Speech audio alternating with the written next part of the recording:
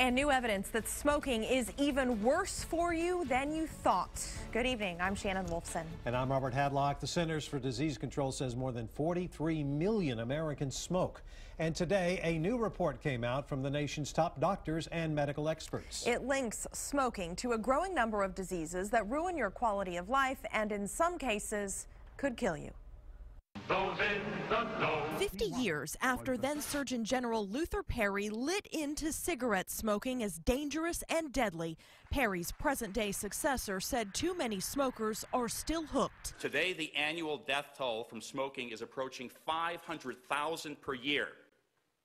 Enough is enough.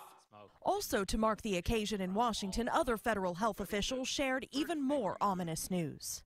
Tobacco is even worse than we knew it was. That's the conclusion Acting Surgeon General Dr. Boris Lushniak draws in the latest report that now links diabetes, arthritis, tuberculosis, and even more cancers to smoking.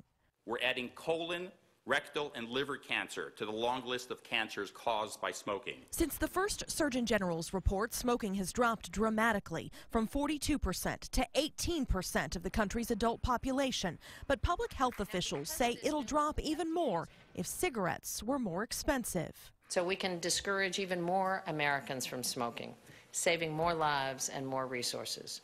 They propose nearly doubling the federal tax per pack to help reduce the number who've died prematurely from smoking, which currently stands at more than 20 million in the last 50 years.